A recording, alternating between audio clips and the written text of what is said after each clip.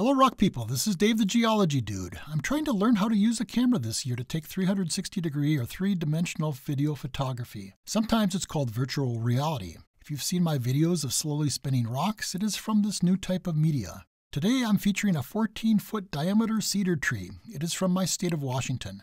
No doubt this type of photography is amazing when it works. Perhaps more amazing, the software I'm using is designed for product photography.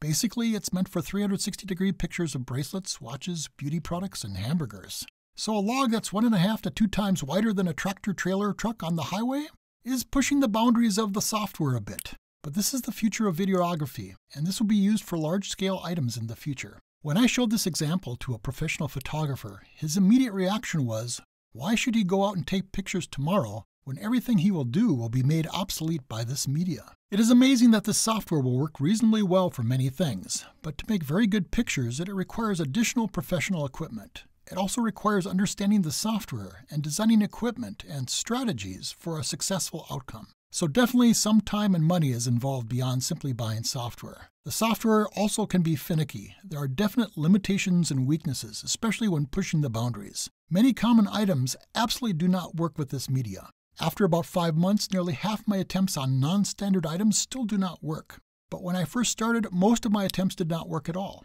Sometimes I can recover things to get a reasonable result from a failed scan, but as the software improves, hopefully things will not be as problematic. Anyway, continue to expect geology oriented things from me in the future, but occasionally I may share interesting 14 foot diameter tidbits too. I had to learn what does and does not work with this media. To learn, I had to try things that I knew would definitely fail. But this gave me insight about how to do things better, and hopefully I can apply this to geology outdoors.